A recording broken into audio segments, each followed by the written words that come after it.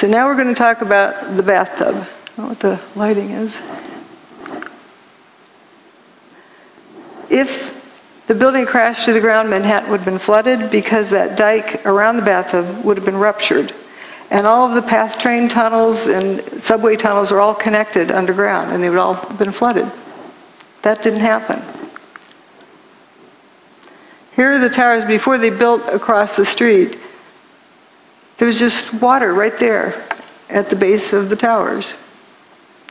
And the towers go well below the water table.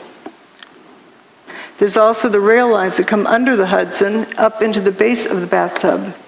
That tunnel was not damaged.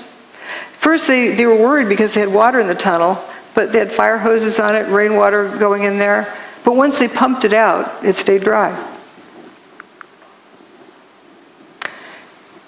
That's the bathtub wall. It's called, or slurry wall, or dike, whatever you want to call it. It keeps out the Hudson River. The towers were actually built in the Hudson River 70 feet below the water table. That's 7 times 10.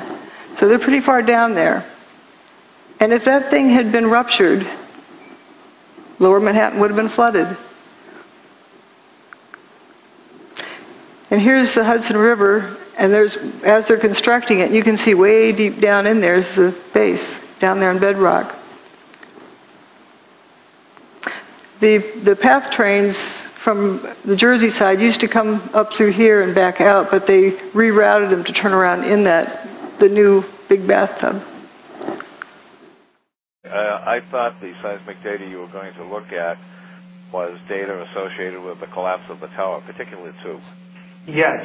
Oh, yes. Um, we did look. uh, We, I mean, obviously, we've looked at all of the seismic signals. Um, the the main focus of that was to establish the timing of the various events, uh, and and if any, uh, uh, again, using it also to see if there were any um, any uh, events that we could not explain other than it being the collapse of the of the towers and and the World Trade Center seven.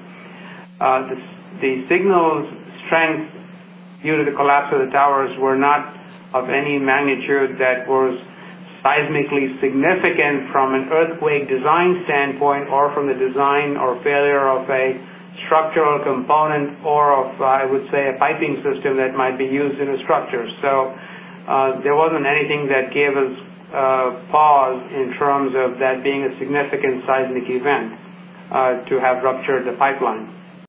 This was a meeting that NIST had to, to determine what happened to Building 7. So they're wondering if there's any pipelines that went through the bathtub over to Building 7. And it, it, he said it wasn't seismically significant enough to have ruptured a pipeline to cause any damage. You have two buildings, half a million tons each, slamming to the ground, and it's not a seismically significant event? And the bathtub's fine at the end of the day. Tower 1's base is right here, down the bedrock. There's the old parking garage, after they cleaned it out.